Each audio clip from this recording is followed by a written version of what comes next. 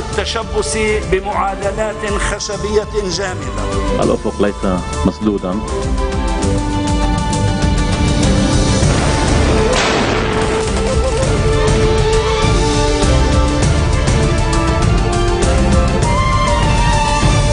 الثالثة بعد الظهر بتوقيت بيروت تتابعون من الميدان من تلفزيون مستقبل وفي العناوين. السعودية والإمارات والبحرين تسحب سفراءها من قطر والدوحة تأسف وتستغرب. الملفات اللبنانية حاضرة في قصر الإليزيه في إطار مؤتمر مجموعة الدعم الدولية للبنان.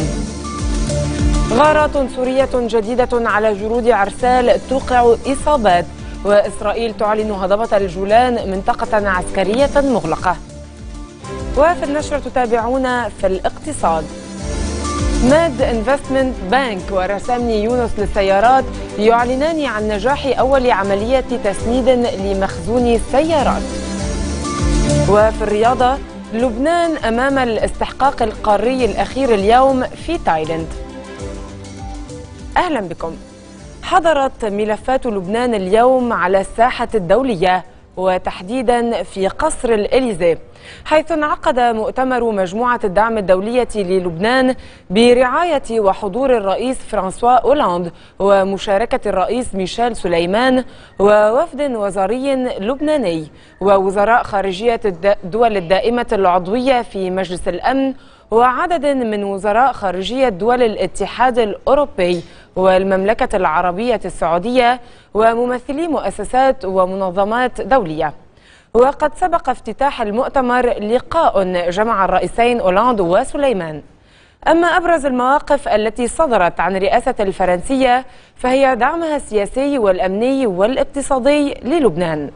أما الرئيس سليمان فأشار إلى أن الدعم الدولي للبنان أقل بكثير مما يواجهه من تحديات بخصوص تدفق اللاجئين السوريين شاكرا العاهل السعودي لدعمه الجيش اللبناني.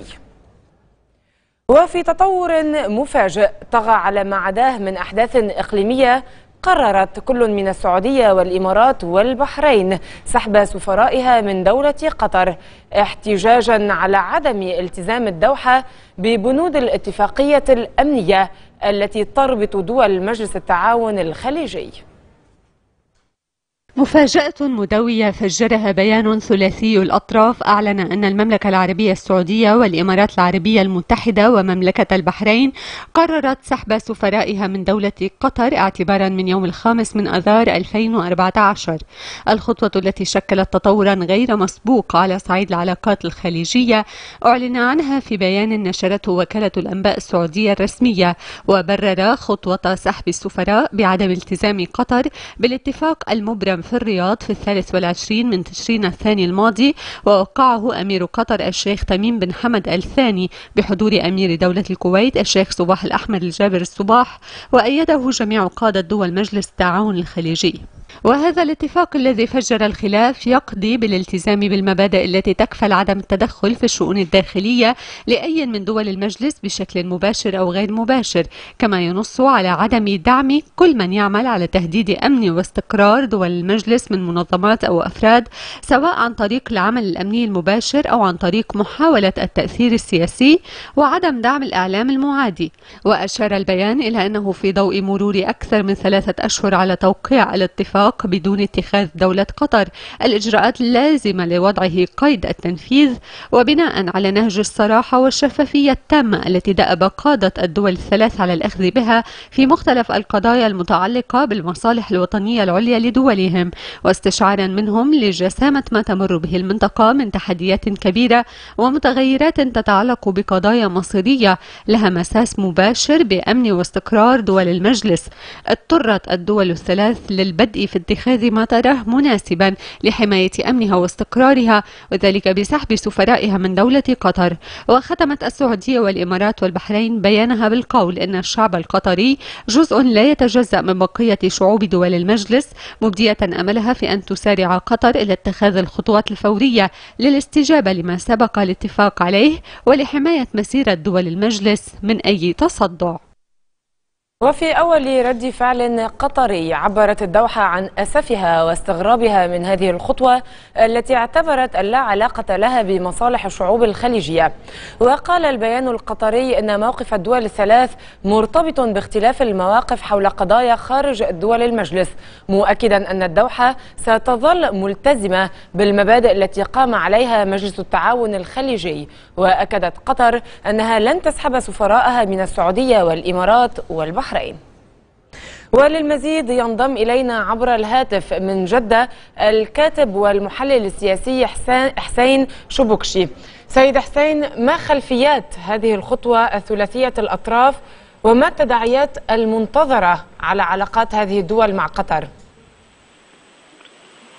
أعتقد ما نراه الآن هو تصعيد متوقع جدا وآن أوانه في أذهان الكثيرين من المتابعين لهذه المسألة لأنه كما يقال أن آه، قد فاض الكيل بهذه الدولة آه، يعني للأسف الشديد قطر تمادت في دعم تيارات متطرفة جدا وصعدت من أزمات سياسية في محيط عربي متشنج جدا وما تقوم به من تأييد لقوى على حساب دول. مسألة مريبة جدا وتدعو للقلق والإمارات أبدت قلقها والبحرين أبدت قلقها والسعودية أبدت قلقها ومصر تبدي قلقها والأردن أبدت قلقها واليمن كذلك فهناك آه، حالة من الاستغراب وكثير من الجولات خلف الكواليس كانت وخلف الأبواب الموصده لمحاولة إقناع والتوسط مع قطر لأن تغير هذا النهج وتكون جزء من تحالف قوي آه، لصالح آه، سيادة الأمن والاستقرار في المنطقة ككل. ولكنها أصرت أن تغرد خارج السرب وأن الآن تدفع ثمن هذا التغريد. وأعتقد أن هناك خطوات اقتصادية وسياسية وأمنية آه، آه، ستتبع هذا القرار آه، الدبلوماسي. نعم الكاتب والمحلل السياسي حسين شبكشي شكرا لك. وإلى باريس حيث انعقد مؤتمر مجموعة الدعم الدولي للبنان بمشاركة رئيس الجمهورية ميشيل سليمان الذي عقد محادثات مع نظيره الفرنسي فرانسوا أولاند. وللمزيد تنضم إلينا مباشرة من باريس مفادة مفادة تلفزيون المستقبل شهير دريس. شهير. رشا طبعا منذ آه، بعض الوقت آه، يعني كان هناك المؤتمر الصحفي بعد الاجتماع الثنائي والاجتماع الموسع بين الرئيسين اللبناني والفرنسي فرانسوا أولاند وميشيل سليمان والذي طغى عليه المزيد يعني من الأجواء الإيجابية. وقد علمنا يعني في معلومات لتلفزيون المستقبل أن اللقاء يعني كان جيدا جدا. كان الرئيس هولاند يعني يطرح أسئلة فيها المزيد من التوضيحات. يريد يريد آه، يعني أن يكون هناك للبنانيين كما يعني قال أن هذا المؤتمر بالنسبة للبنان هو حدث مهم أن يجتمع المجتمع الدولي بكافته من أجل دعم لبنان. آه، سأل يعني بحسب ما علمت في الاجتماع الثنائي بين الرئيسين وحتى في الاجتماع الموسع سأل عن القضايا السياسية الداخلية اللبنانية لا سيما لجهة موضوع يعني تشكيل الحكومة موضوع البيان الوزاري وكذلك موضوع النأي بالنفس هو شدد على هذا هذا الموضوع جدا وضرورة انسحاب حزب الله أيضا من سوريا من أجل أن يكون لبنان في حياد عن هذا الموضوع. آه، إذا وأيضا كما ذكر في آه، المؤتمر الصحفي التشديد على آه، ضرورة أن يتضمن البيان الوزاري موضوع إعلان بعبدة شكر جهود الرئيس سليمان على كل ما يقوم به. لكن في هذه الأثناء هناك غداء بين الرئيسين والوفد المرافق وأيضا الوزراء الخارجية على أن يكون هناك صورة تذكارية بعد ذلك وكذلك يكون هناك يعني انعقاد المؤتمر بعد ذلك والذي قد آه، بحسب المعلومات يعقبها أيضا مؤتمر صحافي. آه، إذا هذا الاجتماع الدولي بخصوص لبنان سيركز على مواضيع ثلاثة أبرزها وبحسب ما حددها الرئيس هولاند هي أولويات دعم آه، يعني دعم لبنان من أجل تخفيف العبء اللاجئين السوريين على لبنان دعم الاقتصاد اللبناني وتمويل المشاريع الإنمائية وتحقيق أمن واستقرار لبنان وإضافة إلى موضوع تسليح الجيش عبر الهبة السعودية والاتفاق اللبناني آه، الفرنسي. يعني هذه هي الأولويات التي تحدث عنها آه، الرئيس هولاند وشدد عليها خلال المؤتمر الصحفي وأيضا خلال الاجتماعات التي عقدها مع الوفد اللبناني آه، فيما الرئيس سليمان كما يعني نعم. أشار في كلمته أمام الحضور أن لبنان بحاجة ماسة إلى هذا الدعم الدولي وعلى المجتمع الدولي أن يبقى يعني واقفا إلى جانب لبنان في هذا الأمر من شأن أن آه، يعني يعود لبنان إلى سابق عهده من أجل استقراره وأمنه. آه، إذا هذه هي مجمل ما حصل في المؤتمر الصحفي وأيضا في الاجتماعات وسنستمع الآن إلى ما قاله الرئيسين هولاند وميشيل سليمان. وأنا أهنئ آه، آه، الرئيس اللبناني ميشيل سليمان على مواقفه خصوصا في الأشهر الأخيرة إذا لم أرد أن أقول لمواقفه وجهوده في السنوات الماضية. وأيضا نرى هذه الجهود واضحة آه، من خلال الإعلان عن الحكومة الجديدة وتأمين تشكيل هذه الحكومة الجديدة برئاسة تمام سلام. وأيضا هو يعمل عبر آه، وبمساعدة كافة الجهات اللبنانية لمواجهة التحديات اللي يواجهها لبنان. وهذا ضروري للبلد. نحن نعلم أيضا أنك يا رئيس الجمهورية تضعون آه، جهودا جبارة لتأمين خارطة طريق تسمح بالموافقة على الميثاق آه، وثيقة الحكومة. نحن سنعمل هنا لدعمكم على ثلاث مستويات. اولا هناك حاجة ماسه آه، لتأمين أموال تفي باحتياجات اللاجئين السوريين على الأراضي اللبنانية. الأولوية الثانية هي مساندة الاقتصاد اللبناني. الأولوية الثالثة التي نتحدث عنها هو تأمين الأمن اللبناني والسماح للجيش اللبناني بالحصول على المعدات العسكرية المناسبة والملائمة آه، لتأمين الأمن اللبناني وذلك مع آه، عبر المنحة السعودية لقوات آه، الجيش اللبناني. وهذا يحدون الأمل أن يتم التوصل إلى حل شامل للأزمة السورية. وأيضا أن يتم وضع خطة خطة بناء شاملة مستقبلية أيضا لمساعدة السوريين. وأنا سعيد أن أقول لكم أن الجيش اللبناني ما زال ما زال الجيش اللبناني يحظى بدعم على المستوى الداخلي وأيضا على المستوى الدولي بأنه حامي للديمقراطيه والدولة اللبنانية ويسعى كل الوقت لتأمين كافة تنفيذ كافة المهام المنوطة به.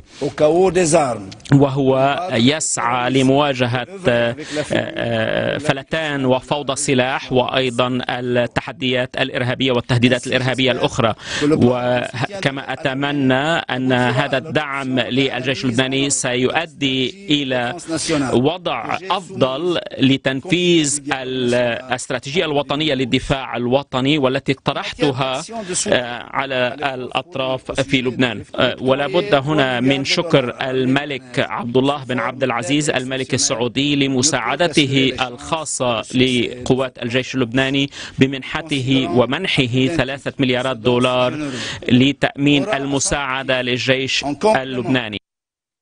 وكان الرئيس سليمان بدأ لقاءاته الرسمية عصر أمس عقب وصوله إلى باريس. فور وصوله إلى باريس عقد رئيس الجمهورية ميشيل سليمان اجتماعا مع أعضاء الوفد الوزاري المرافق لوضع اللمسات الأخيرة على الموقف اللبناني في مؤتمر دعم لبنان. سليمان استهل لقاءاته بزيارة مقر منظمة اليونسكو حيث كان في استقباله مديرة المنظمة إيرينا بوكوفا وسفير لبنان لدى اليونسكو خليل كرم وعدد من السفراء العرب والأجانب. ونوه سليمان بالعلاقات القائمة بين لبنان واليونسكو مشددا على زيادة التعاون وتعزيزه ثم دون كلمة في السجل الذهبي. وفي مقر إقامته استقبل رئيس الجمهورية نائب رئيس مجلس النواب فريد مكاري وتم عرض للأوضاع الراهنة على الساحة الداخلية. ثم التقى المفد الأممي الأخضر الإبراهيمي الذي أطلعه على أجواء الاتصالات والمشاورات الدولية الجارية لمعالجة الأزمة السورية. كما بحث مع الأمين العام لجامعة الدول العربية نبيل العربي تحضيرات الجامعة لعقد القمة العربية المقبلة في الكويت إضافة إلى موضوع اجتماع باريس للمجموعة الدولية لدعم لبنان حيث جدد العربي تأييد موقف الجامعة للقرارات الدولية التي تساعد لبنان وفقا لخلاصات مؤتمر نيويورك. انتهاك السيادة اللبنانية من قبل النظام السوري مستمر فقد أغارت طائرات حربية سورية على جرود عرسال ونفذت ست غارات على خربة يونين وعجرم ووادي الخيل والمصلحة بالقرب من مخيم للنازحين السوريين ما أوقع عددا من الإصابات لم يحدد بعد. وترافقت الغارات مع سماع صوت نيران مضادات أرضية باتجاه الطائرات المغيرة من دون التأكد من مصدرها. إلى ذلك سقط صاروخ على تلال جنتا مصدره الأراضي السورية. أعلن الجيش الإسرائيلي اليوم هضبة الجولان منطقة عسكرية مغلقة حتى إشعار آخر. على خلفية استهدافه لمجموعة من حزب الله حاولت زرع عبوة ناسفة قرب السياج الحدودي السوري مع إسرائيل بحسب الإذاعة الإسرائيلية. وذكرت الإذاعة نفسها أن الجيش الإسرائيلي أصدر بيانا أكد فيه أنه أغلق المنطقة الحدودية مع سوريا في منطقة الجولان واستنفر قواته في المنطقة الحدودية وبدأ بعملية موسعة لتمشيطها والتأكد من وجود عبوات ناسفة أخرى. وأشارت الإذاعة إلى أن الجيش منع المستوطنين من الاقتراب إلى المنطقة الحدودية وطلب من المزارعين مغادرتها. ومقابل الحدود اللبنانية وتحديدا عند مارون الراس تمركزت دبابة ميركافا وعدد من جنود العدو خلف سواتر ترابية كما سجل انتشار آليات مجنزرة بالقرب من موقع البياض الإسرائيلي قبالة بلدة بليدة. صعدت كتائب بشار الأسد غاراتها الجوية والبرية على يبرود بمنطقة جبال القلمون بهدف تحقيق تقدم ومحاولة السيطرة على هذه الجبهة المشتعلة منذ نحو عشرين يوما. كما انهمرت البراميل المتفجرة بكثافة على أحياء حلب ما رفع عدد القتلى اليوم إلى عشرين.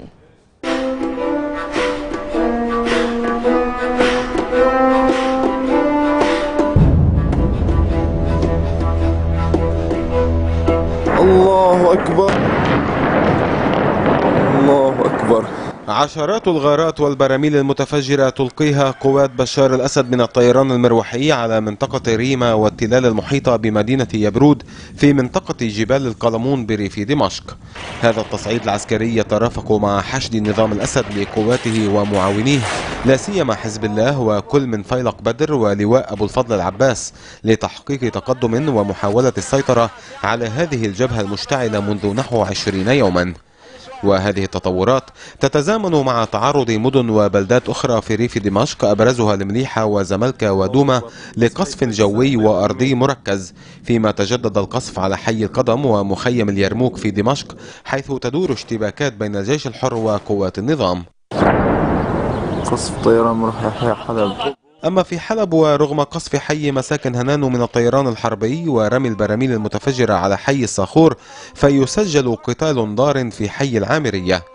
غارات الطيران الحربي الأسدي تستهدف كذلك حي طريق السد وأطراف بلدة النعيمة في درعا فيما تلقى براميل الموت على بلدة تسيل.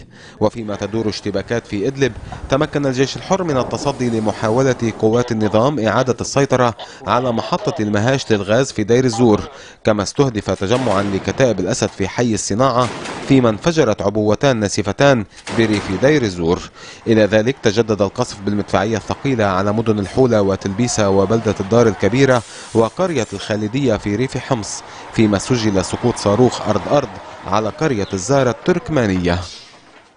طالب وزراء خارجية دول مجلس التعاون الخليجي النظام السوري بالوفاء بالتزاماته في مؤتمر جنيف واحد التي تنص على تشكيل سلطة انتقالية بصلاحيات كاملة. كما دعا الوزراء الخليجيون في ختام اجتماعهم بالرياض مجلس الأمن الدولي إلى الضغط على النظام السوري لرفع الحصار عن المدن السورية ووقف الهجمات والغارات على المدنيين. ورحبوا بالقرار الدولي الذي نص على تسهيل دخول القوافل الإنسانية بشكل عاجل إلى المناطق المحاصرة. أعلن الاحتلال الإسرائيلي إحباط محاولة إيرانية لتهريب أسلحة متقدمة إلى من أسماها بالمنظمات الإرهابية في قطاع غزة. وأوقف سلاح البحرية فجرا سفينة محملة بقذائف صاروخية من طراز أم 302 في البحر الأحمر كانت في طريقها إلى قطاع غزة بعدما أبحرت من إيران إلى العراق ومنه إلى ميناء بورسودان السوداني. وأفيد بأن الشحنة نقلت جوا من مطار دمشق إلى إيران حيث تم تحميلها بالقذائف وإخفاؤها في أكياس للإسمنت. أبرق الرئيس سعد الحريري إلى رئيس وزراء جمهورية مصر العربية إبراهيم محلب مهنئا لمناسبة تشكيل الحكومة المصرية الجديدة ومتمنيا له النجاح في مهمته لما فيه خير وتقدم الشعب المصري الشقيق. وفي النشرة بعد الفاصل. كركي تستنكر التطاول على مقام رئاسة الجمهورية.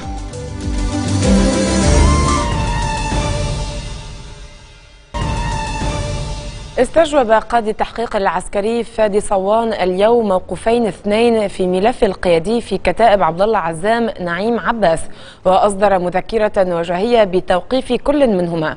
كما أصدر مذكرتين غيابيتين بتوقيف رحمي طه ويوسف الشبايطه سندا لادعاء النيابه العامة العسكرية. ولم يتم سوق جمال دفتر دار إلى دائرة القاضي صوان بسبب وضعه الصحي فأرجئت الجلسة إلى الاثنين المقبل.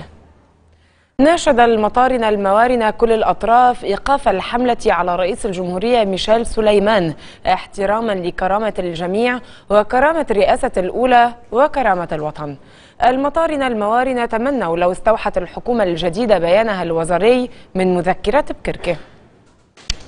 أسف المطارنة الموارنة للحملة التي تعرض لها رئيس الجمهورية في أعقاب الخطاب الذي ألقاه مؤخرا واستنكروا التطاول على كرامته الشخصية ومقامه كرأس للدولة ورمز لوحدة الوطن.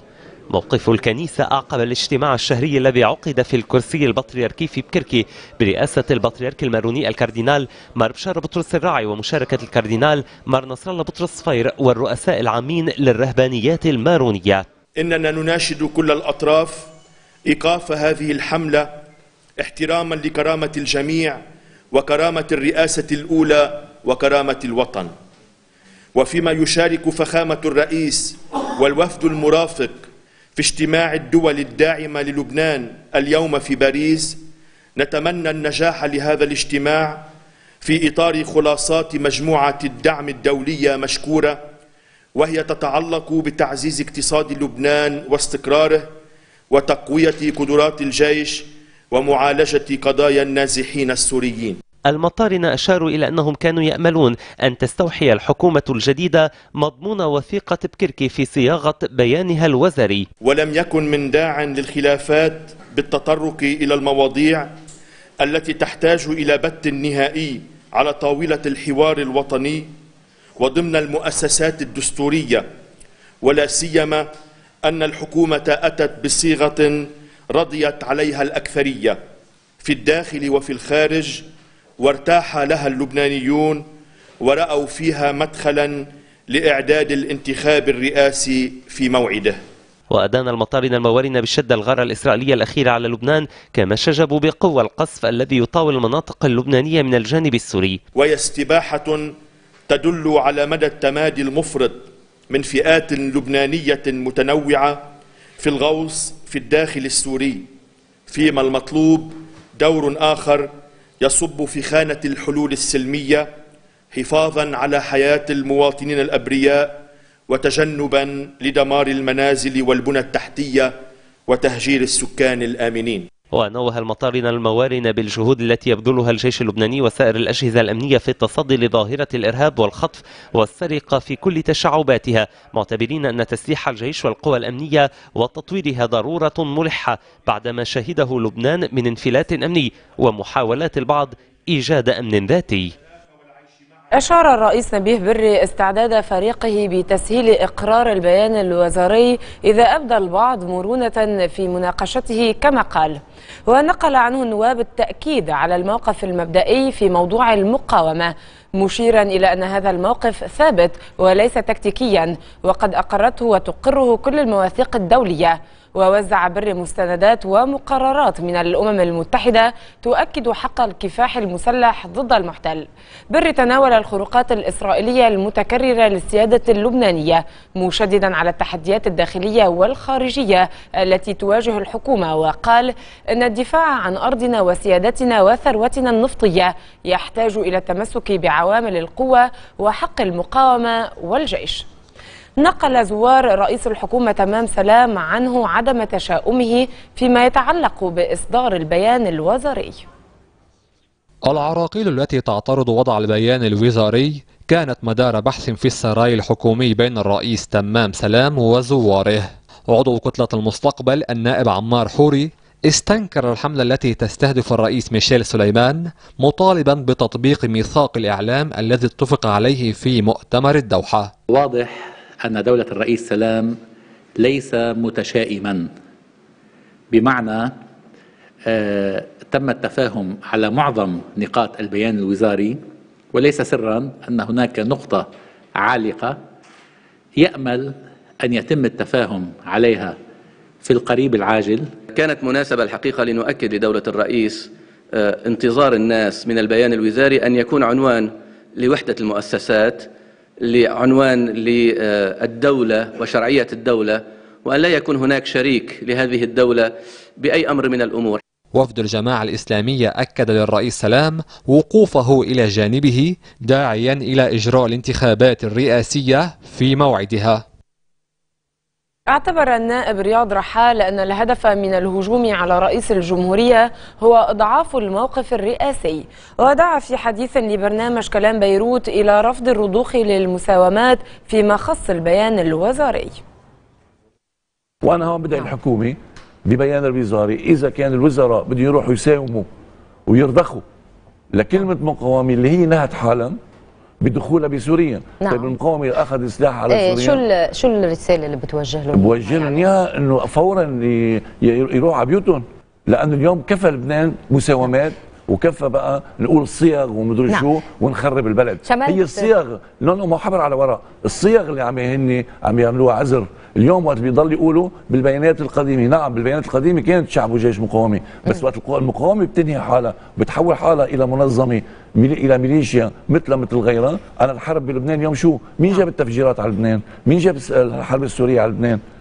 قبل قبل قبل ما تدخل قبل الدخول على دخول حزب الله على سوريا ما كنا نشوف تفجيرات بالبؤر الأمنية تبعهم بمناطقهم اللي هن حامينهم أعلن وزير الاتصالات بطرس حرب أنه بدأ بالعمل على إصلاح الوضع الإداري في الوزارة وتصحيح العلاقة بينها وبين هيئة أوجيرو.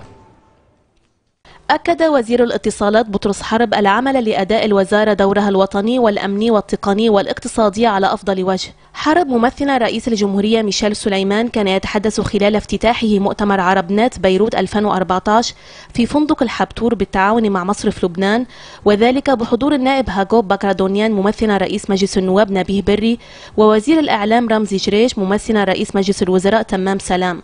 لم يمضي على تولي وزارة الاتصالات إلا أسابيع قليلة ولم تتجاوز الاثنين. في حكومة آمل ألا تعمر إلا لأسابيع معدودة أخرى إلا أنني منذ اللحظة الأولى التي استلمت فيها وزارتي من سلفي عمدت إلى حل المشكلات المتراكمة المعرقلة لعمل الوزارة في مواكبة عالم الاتصالات المتطور بصورة مذهلة وذلك ببدء إصلاح الوضع الإداري في الوزارة وإعادة روح الفريق إلى المسؤولين فيها من خلال ترتيب البيت الداخلي وتصحيح العلاقات بين المديريات العامة في الوزارة بينها فيما بينها وبينها وبين إدارة أوجيرو هيئة أوجيرو.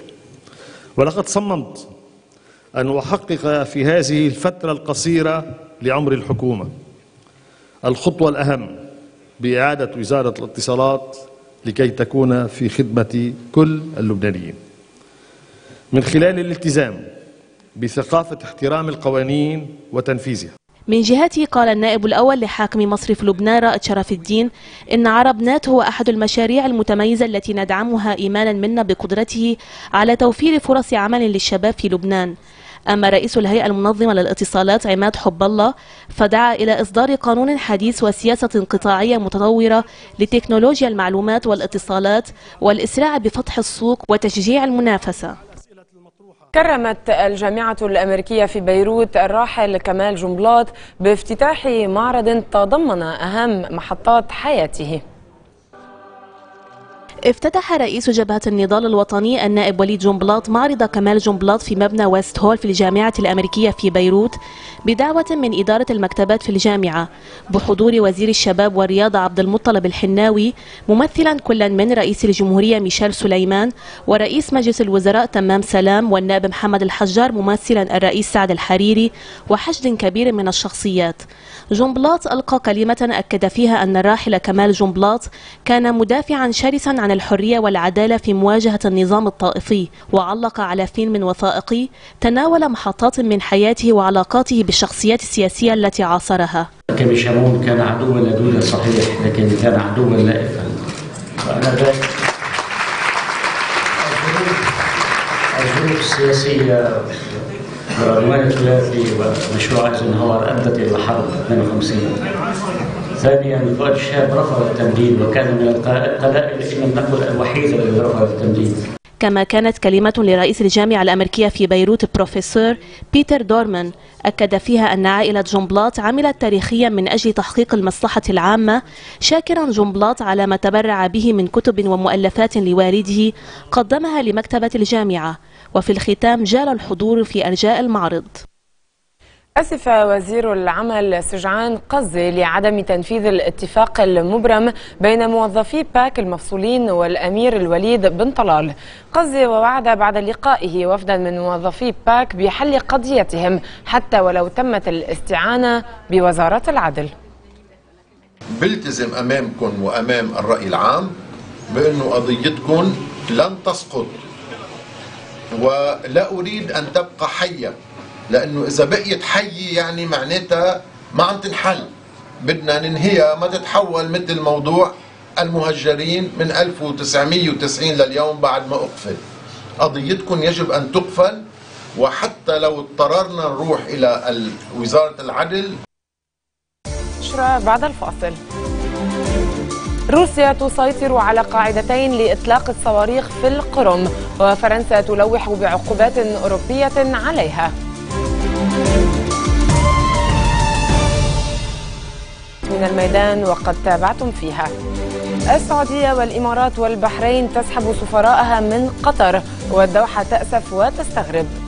الملفات اللبنانية حاضرة في قصر الإليزي في إطار مؤتمر مجموعة الدعم الدولية للبنان.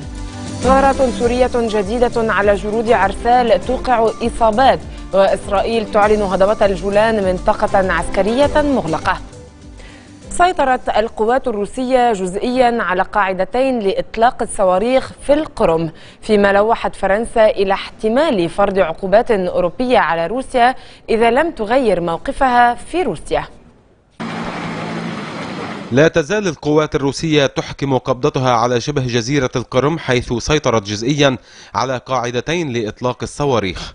وعلى وقع تأهب الجيشين الروسي والأوكراني قال وزير الخارجية الأوكرانية أندري ديشيتسيا إنه يريد حلا سلميا للصراع مع روسيا رافضا الدخول في قتال معها. وعلى صعيد العلاقات الاقتصادية قال رئيس وزراء أوكرانيا أرسينيا تسينيوك إن نشر قوات روسية في منطقة القرم يؤثر سلبا على اقتصاد البلاد. وفي إطار الجهود الدبلوماسية المستمرة لإيجاد حل للأزمة الأوكرانية أعلن الاتحاد الأوروبي عن خطة لمساعدة أوكرانيا بأحد عشر مليار يورو. في حين دعا وزير الخارجية البريطانية ويليام هيج روسيا إلى احترام الاتفاقيات المبرمة فيما يخص البحر الأسود وشبه جزيرة القرم. أما نظيره الفرنسي لوران فابيوس فأشار إلى أنه سيتم التصويت في الاتحاد الأوروبي على فرض عقوبات على موسكو إذا لم تغير موقفها في أوكرانيا. من جهته قال وزير الخارجية الروسية سيرجي لافروف على هامش زيارته إلى إسبانيا أن الغرب أخفق في الرد في الوقت المناسب على المواقف المعادية ضد ما أسماه بالسلطة الشرعية في أوكرانيا مشيرا في الوقت نفسه إلى أن الرئيس الروسي فلاديمير بوتين لن يسمح بسفك دماء الأوكرانيين أو المواطنين الروس في أوكرانيا أو بتعريضهم للخطر. وكانت أعلنت الولايات المتحدة أنها ستقدم لروسيا مخرجا للأزمة الأوكرانية بالتعاون مع حلفائها الأوروبيين. تعيد بموجبه روسيا قواتها في القرم إلى قواعدها وتسمح لمراقبين دوليين بضمان حقوق السكان المتحدرين من أصل روسي وحمايتهم. وفي العراق سقط 21 قتيلا ونحو 70 جريحا في سلسلة هجمات متزامنة بالسيارات المفخخة والعبوات الناسفة هزت العاصمة بغداد. وأوضحت الشرطة العراقية أن سبع سيارات ملغومة انفجرت في أحياء الشعب والجامعة والشعلة والبياع والصناعة والزعفرانية. أبدى رئيس الوزراء التركي رجب طيب أردوغان استعداده للانسحاب من الحياة السياسية في حال عدم فوز حزبه في الانتخابات البلدية المرتقبة في الثلاثين من آذار الجاري. وتساءل أمام صحفيين في أنقرة أنا مستعد للاعتزال ولكن هل الآخرون كرئيس حزب الشعب الجمهوري ورئيس الحركة القومية مستعدون لذلك؟ وفند أردوغان الانتقادات الموجهة لحكومته بشأن الإعلام والتي وصفها بأنها سيئة النية مؤكدا أن للتنصت المرخص في تركيا قواعد محددة إلا أنها انتهكت قال مصدر عسكري في كوريا الجنوبية أن كوريا الشمالية تملك 100 و 100 وحدة من الصواريخ البالستية قصيرة المدى. وصرح المصدر أن كوريا الشمالية تمكنت من تمديد مسار الصاروخ من 120 إلى 170 كيلومترا مع نشر حوالي 30 منصة إطلاق في وحدات الجيش. ويشكل هذا النوع من الصواريخ تهديدا بسبب قدرته على الوصول إلى مناطق قريبة من عاصمة كوريا الجنوبية. تظاهر آلاف الفنزويليين في شوارع العاصمة كاراكاس رافعين شعارات مناهضة لحكومة الرئيس نيكولاس مادورو في الذكرى السنوية الأولى لوفاة الرئيس السابق هوغو تشافيز. ويطالب المتظاهرون بالإفراج عن عشرات الناشطين المعتقلين منذ بداية الاحتجاجات الأخيرة في البلاد. كما نددوا بتزايد معدلات البطالة وغياب الأمن ونقص المواد الغذائية منذ نحو شهر تقريبا. فيما حاول حاولت الشرطة تفريقهم مستخدمة الغاز المسيل للدموع. بعد الفاصل في الاقتصاد. الإعلان عن ملتقى لبنان الاقتصادي برعاية الرئيس سليمان يوم السبت المقبل.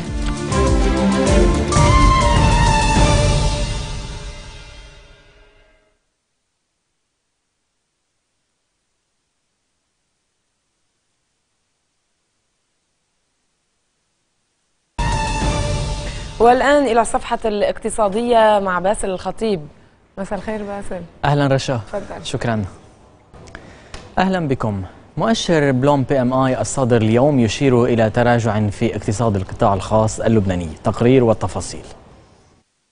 أصدر بلوم بنك مؤشر الأعمال في لبنان بلوم لبنان PMI للفترة من 12 إلى 24 شباط حيث أشار خلاله إلى تراجع في اقتصاد القطاع الخاص ليبقى المؤشر في منطقة الانكماش عند 45 نقطة فاصل وبحسب التقرير فقد أدت الحوادث الأمنية إلى مزيد من التراجع في مستويات الإنتاج خلال شباط واستمر الانكماش للشهر التاسع على التوالي. وعلى الرغم من أن التراجع في نشاط القطاع الخاص كان حادا إلا أنه ظل أخف وطأة مما كان عليه خلال الشهر السابق من الاستبيان. وجاءت الطلبيات الجديدة أقل بكثير مما كانت عليه قبل شهر.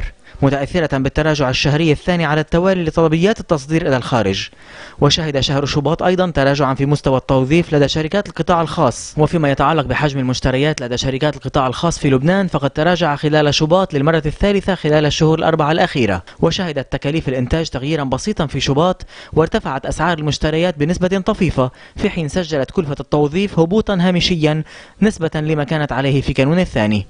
ويقول مروان مخير رئيس قسم الأبحاث لدى بلوم إنفست بانك إن المستثمرين وأصحاب شركات القطاع الخاص ظلوا على الهامش في شهر شباط نظرا لعدم تحسن الوضع السياسي والأمني في لبنان وفي ظل عدم شروع الحكومة الجديدة بعملها بعد حيث أن ذلك مرهون بنيلها الثقة في مجلس النواب. أعلن كل من Med Investment Bank وشركة رسامني يونس للسيارات عن نجاح أول عملية تسنيد لمخزون سيارات في لبنان وفي منطقة الشرق الأوسط وشمال أفريقيا. وللغاية عقد مؤتمر صحفي في المقر العام لشركة Rymco. حضره رئيس مجلس الإدارة والمدير التنفيذي لشركة Rymco فايز رسامني والمدير العام التنفيذي لبنك ماد وبنك Investment Med Investment Bank محمد علي بيهم. وقد سمحت هذه العملية ل Rymco بالحصول على تمويل من خارج الميزانية وأتاحت لها مزيدا من التنويع في مصادر التمويل من خلال الاعتماد على قاعدة جديدة من المستثمرين. تصور كسوق لبناني آه، آه، لازم نبلش آه، ننفتح على هيك عمليات إنه المصارف يبلشوا يمولوا بطريقة غير تقليدية. الشركات الكبيرة بلبنان. بمعنى البنك المركزي من مدة عم يجربوا يساعدوا ويدفشوا حتى البنوك. يقوموا بهيك عمليات مركبة. آه، ونحن كبنك بحر متوسط آه، من آه، الأوائل البنوكي اللي قمنا بهيك عمليات. وهيدي العملية انعملت لتمد رمكو بتمويل من خارج الميزانيه والحمد لله نجحت وقت انعرضت على السوق اللبناني تسكر الملف بسرعة بسرعة بسرعة كبيرة. وامنا 35 مساهم. في مقر المؤسسة العامة لتشجيع الاستثمار IDAL في بيروت أعلن عن انعقاد ملتقى لبنان الاقتصادي يوم السبت المقبل في فندق Four Seasons برعاية رئيس الجمهورية ميشيل سليمان والذي تنظمه مجموعة الاقتصاد والأعمال بالتعاون مع IDAL واتحاد الغرف. ويكتسب هذا الملتقى أهمية إضافية عبر محاوره التي ستحاول طرح نظرة مستقبلية للاقتصاد اللبناني وإظهار حاجاته الملحة للمرحلة المقبلة وإطلاق حوار حول ما يمكن القيام به من خطوات وسياسات في إطار ما يسمى إدارة الأزمة بهدف تعزيز الثقة وتنشيط الحركة الاقتصادية. ويتناول الملتقى تحديد حاجات المرحلة المقبلة على مستوى بلدان المنطقة ولا سيما بلدان الربيع العربي. في بورصة بيروت استقر سوليدار A وسوليدار بي عند 13 دولار 10 وتحسن بيروت تفضيلي في أش 2% إلى 27 دولار. وسجل اليورو دولار 37 أما الذهب فلم يطرأ تغير يذكر على سعره وبلغ 1337 دولار للأونصة مع فتور الإقبال على شراء المعدن الأصفر كملاذ آمن. وفي الخليج تراجعت بورصة الدوحة 2% إثر قرار سحب آه، دول السعودية و البحرين والإمارات سفرائها هذا كل شيء في الاقتصاد إلى اللقاء. بعد الفاصل في الرياضة. بويول يقول وداعا لبرشلونة.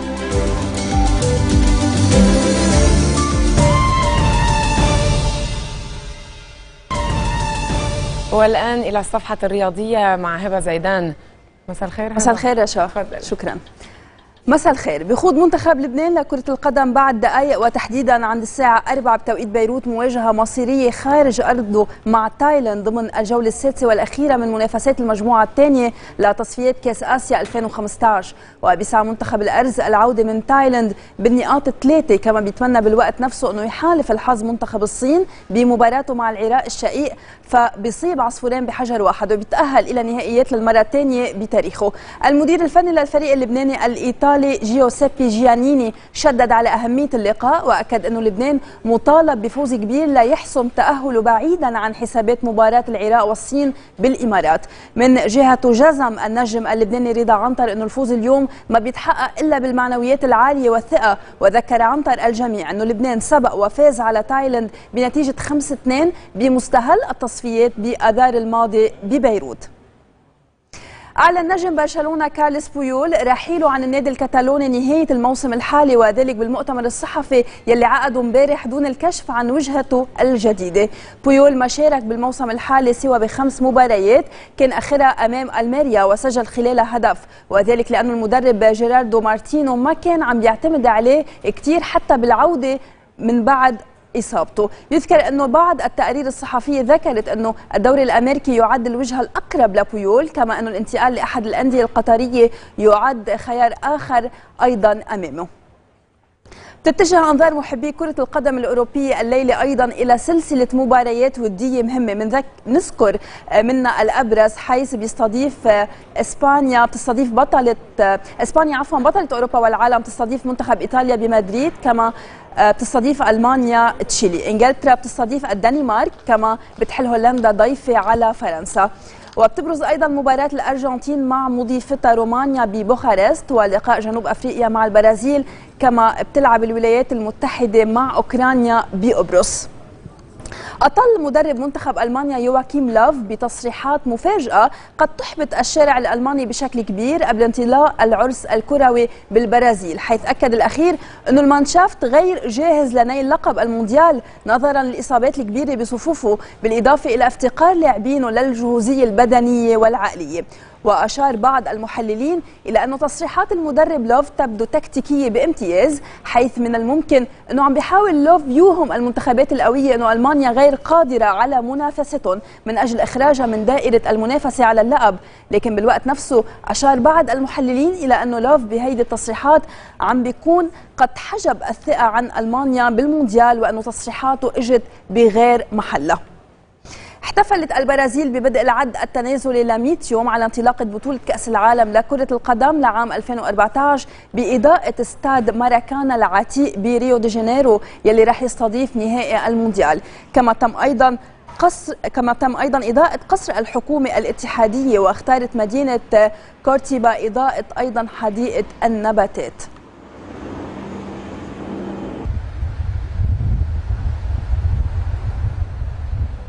بال NBA تغلب هيوستن روكيتس على ميامي هيت بنتيجة 106 103 المباراة كانت متقاربة جدا بين الطرفين بكافة أرباعها. قبل ما ينجح هيوستن من حسم النتيجة لصالحه بالدقائق الأخيرة مستفيد من تألق النجم دوايت هاورد بتسجيله 22 نقطة. كما أضاف أيضا جيمس هاردن 21 نقطة. هذا كان كل شيء بأخبار رياضة. لهلأ برجع بشوفكم بنشرة السبعة ونص. وفي الختام يبقى التفكير بالعناوين. السعودية والإمارات والبحرين تسحب سفراءها من قطر والدوحة تأسف وتستغرب. مطالب لبنان وحاجياته في مواجهة أزمة النازحين السوريين. غارات سورية جديدة على جنود عرسال توقع إصابات وإسرائيل تعلن هضبة الجولان منطقة عسكرية مغلقة. وفي الاقتصاد ماد انفستمنت بانك ورسمني يونس لسيارات يعلنان عن نجاح أول عملية تسنيد لمخزون سيارات. وفي الرياضة لبنان أمام الاستحقاق القاري الأخير اليوم في تايلاند. نهاية النشرة إلى اللقاء. إلى عدم التشبث بمعادلات خشبية جامدة. الأفق ليس مسدودا.